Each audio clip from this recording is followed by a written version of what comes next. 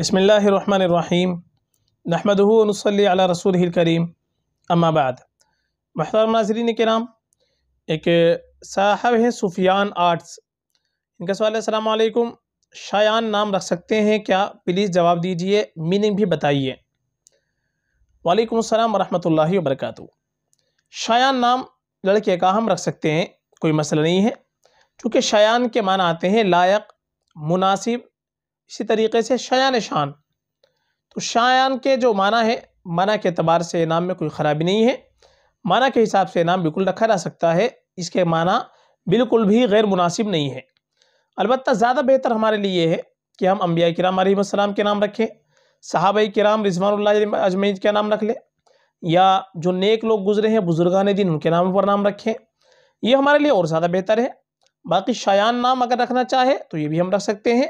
ये नाम रखने में भी कोई ख़राबी नहीं है फ़कत वल्लम